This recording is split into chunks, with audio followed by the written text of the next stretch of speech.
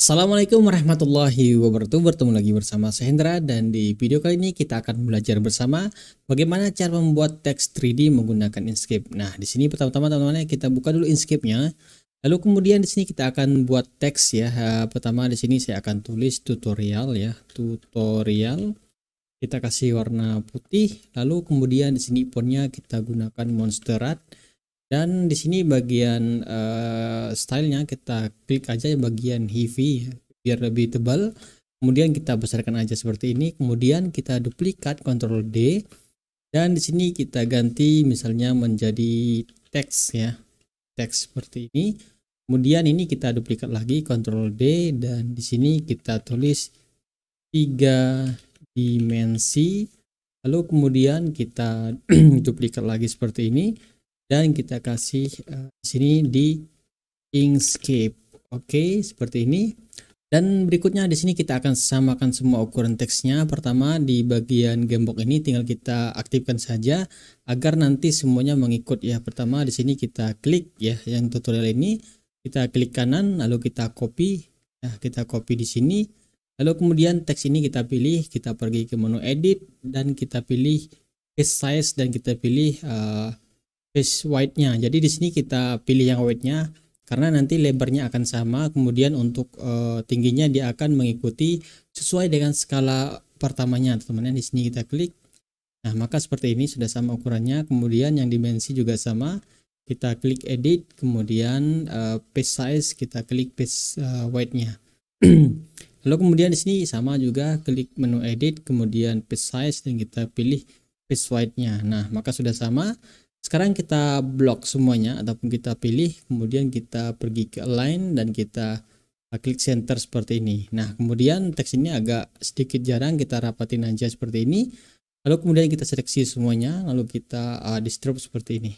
Nah, kalau sudah seperti ini, otomatis ukuran kiri dan kanannya sudah sama teman-teman ya. Lalu yang berikutnya di sini tinggal kita klik uh, menu path, lalu kita klik object to path agar teks ini sudah menjadi part lalu kemudian di sini tinggal kita ungroup ya kita kontrol shift G lalu kemudian kita pergi ke menu part lalu kita union.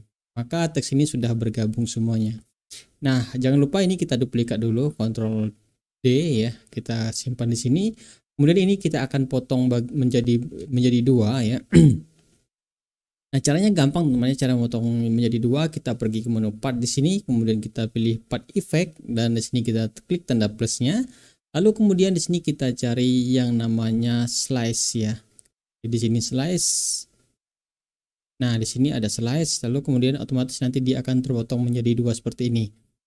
Dan sebelah kanan ini sudah menjadi part effect biasa, kemudian di sini masih ada uh, part effectnya yang aktif maka kita terapkan aja ataupun kita apply kita klik menu part dan kita klik check to part. Maka text effectnya sudah uh, diterapkan di sini. Lalu kemudian ya kita akan buat uh, boxnya. Untuk membuat boxnya sendiri kita gunakan uh, 3D box di sini ya. Kita buat seperti ini sembarangan aja. Kira-kira seperti ini. Kita tarik aja seperti ini. Lalu kita tarik lagi Nah, untuk boxnya sendiri tergantung teman-teman ya, tergantung kebutuhan. Di sini mungkin kita buat seperti ini. Oke, nah seperti mungkin kurang besar ya. Oh, kurang nampak bawahnya. Kita buat seperti ini. Dorong lagi. Nah, kira-kira sudah menjadi segi empat seperti ini.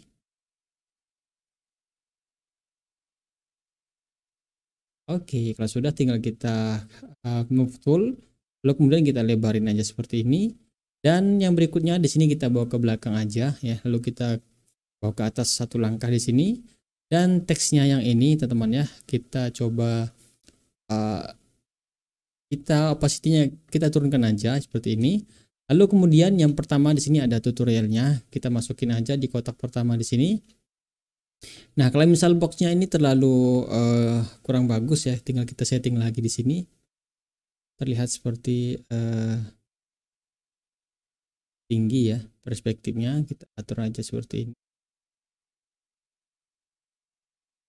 Nah, di sini bisa kita atur saja teman-teman ya posisinya.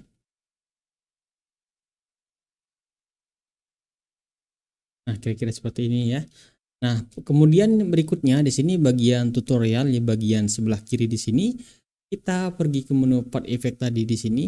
Lalu kemudian kita klik tanda plus dan di sini kita cari namanya perspektif garis miring envelope ya. Kita klik aja. Lalu kemudian nanti akan muncul settingan seperti ini. Bagian type-nya kita ganti menjadi perspektif. Lalu kemudian kita pergi ke edit part di sini dan kita uh, aktifkan dulu snapnya teman-teman ya. Lalu kemudian di sini kita klik bagian pojok ya. Kita tarik ke atas, boom.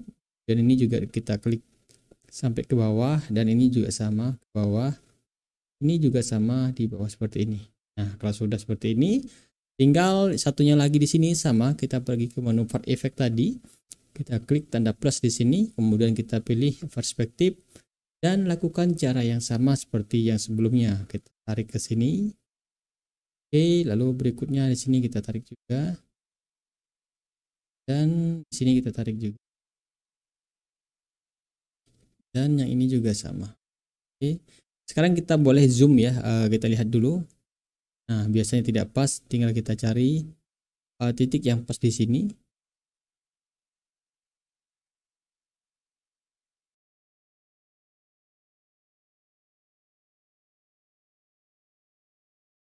Nah, sudah terlihat seperti ini, tinggal uh, kotaknya ini kita buang aja teman-teman ya, garis bantunya tadi. Lalu kemudian ini tinggal kita buat uh, semacam uh, shadownya. Jadi yang ini kita buat warna putih pekat, kemudian ini kita buat warna agak sedikit lebih buram seperti ini, kemudian yang di bawah lebih gelap lagi seperti ini. Oke, sudah selesai ya. Lalu berikutnya di sini tinggal kita uh, group ya, lalu kita bawa ke sini dan kita kasih shadow di bawahnya seperti ini lalu kita pergi ke fill and stroke kemudian kita naikin shadownya apa blurnya ini seperti ini oke selesai teman-teman ya Uh, baiklah, mungkin sampai di sini dulu video singkat ini teman-teman. Jika bermanfaat silahkan klik like, share, komen, dan juga di subscribe. Dan teman-teman juga bisa request uh, tentang tutorial apa mau dibuat menggunakan Inkscape. Baiklah saya Hendra mengucapkan wassalamualaikum warahmatullahi wabarakatuh.